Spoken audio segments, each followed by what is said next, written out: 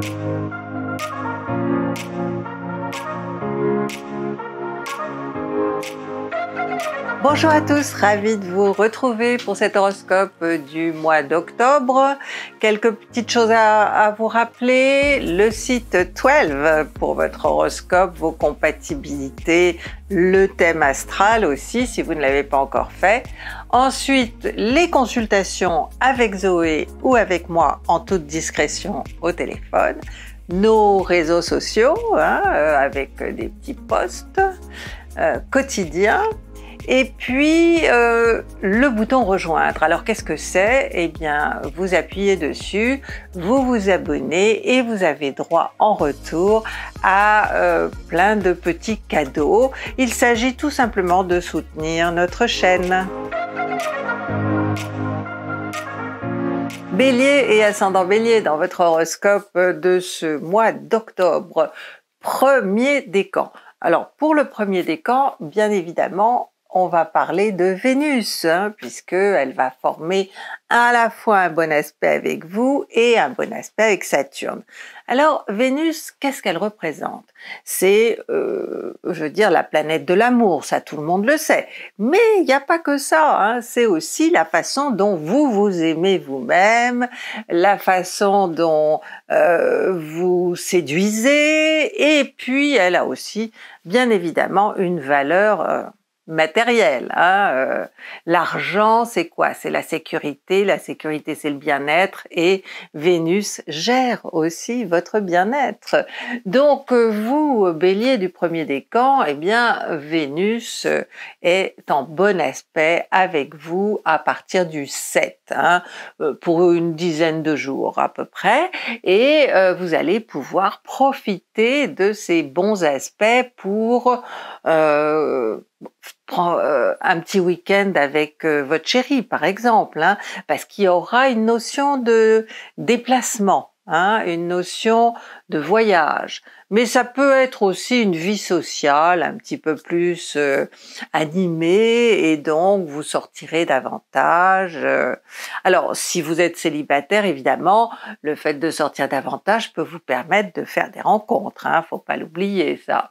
Euh, bon, euh, si vous voulez, c'est rapide, hein, c'est sûr, c'est un aspect assez léger. On peut pas dire que vous allez rencontrer euh, euh, l'âme sœur, quoique Vénus va être en bon aspect avec Saturne. Et Saturne, c'est la planète qui fait que les choses durent, que les choses s'installent, qu'elles ont des racines profondes. Hein. Donc, si vous faites une rencontre, attendez-vous à ce que ça puisse durer. Et si vous êtes en couple, eh bien, votre couple est sur des rails. Deuxième décan, pour vous, c'est euh, le temps fort de ce mois, c'est un aspect de Mercure. Alors vous savez que euh, la planète représente vos échanges, vos discussions, tout ce qui euh, circule hein, en même temps. C'est-à-dire vous attendez par exemple une lettre, un paquet, euh, un mail, euh, voilà, c'est sont des choses qui circulent. Puis vous aussi, vous circulez avec Mercure. Hein, vous allez d'un point à un autre, vous allez à un rendez-vous, vous vous déplacez pour faire une démarche. c'est vraiment, ou alors vous appelez quelqu'un, vous prenez contact. Vous voyez, tout ça, c'est Mercure. Et Mercure, elle se trouve euh, en balance. Donc, euh, face à vous, ça donne une notion d'échange, de discussion, parce que la balance, pour vous, c'est les autres. Hein. Alors, c'est peut-être l'autre avec un grand A, c'est-à-dire votre partenaire de cœur. Mais bon, il n'y a pas que ça parmi les autres, euh, n'est-ce pas? Il y a tous ceux que vous fréquentez euh, pour d'autres raisons, parfois pour des raisons professionnelles, évidemment. Donc, il peut être question euh, d'un rendez-vous professionnel, hein, ou alors d'un rendez-vous pour autre chose. Mais la question qui va se poser, c'est que va faire euh, Mars parce que Mercure va être en conjonction avec Mars. Donc euh, vous aurez affaire à des gens qui vont euh, être un petit peu trop stimulants ou que vous allez trouver agressifs, mais nous sommes en balance. Donc vous allez être malin et vous allez ne pas parler impulsivement, vous allez prendre le temps de réfléchir avant de répondre, avant de, dire euh, quoi que ce soit d'ailleurs. Hein, ne vous précipitez surtout pas pour parler, euh, c'est dans votre intérêt. Hein, euh, et vous finirez par trouver un accord, hein, parce que c'est le but de cet aspect, Hein, c'est euh, d'affronter quelqu'un et de trouver un accord, et c'est vous qui êtes chargé de trouver cet accord. Troisième euh, décan, le temps fort euh, de votre mois, c'est un aspect, euh, d'abord un bon aspect hein, entre Mars et Jupiter qui vous donne vraiment de l'énergie quasiment inépuisable hein, au départ, mais Mars va être en dissonance avec Pluton.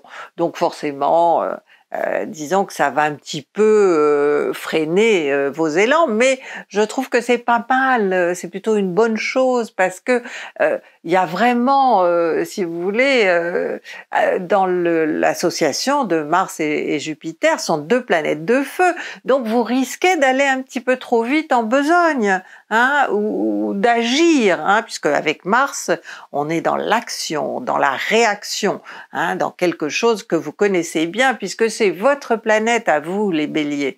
Donc ce Mars trigone Jupiter qui, qui vraiment décuple votre énergie peut vous bah, vous inciter à, aller beaucoup trop vite, euh, à, devancer hein, les choses alors que vous devriez rester dans le temps présent. Donc la dissonance de Pluton ne va pas être inutile dans la mesure où euh, bah, elle, va vous dire que euh, vous allez trop vite, hein, qu'il faut un petit peu mettre un, un frein. bon, de toute façon, euh, c'est un aspect qui va euh, passer assez rapidement. Et puis, bon, les deux planètes, Mars et Jupiter, sont en bon aspect avec vous. Donc, Pluton qui se trouve euh, tout en haut de votre ciel, dans votre secteur de carrière, elle joue un rôle plutôt modérateur. alors c'est peut-être quelqu'un qui va vous modérer, Hein Mais bon, je pense que si quelqu'un vous tient justement un langage comme ça euh, de modération, eh bien il faut euh, l'écouter parce que ça vous rendra service, hein ça vous sera utile parce que vous aurez très certainement euh, quelque chose à entreprendre ou vous voyez il y a une action, il y a quelque chose à mettre en action, peut-être en, groupe, hein, mais euh, il faut pas aller trop vite, il faut pas vouloir dépasser tout le monde.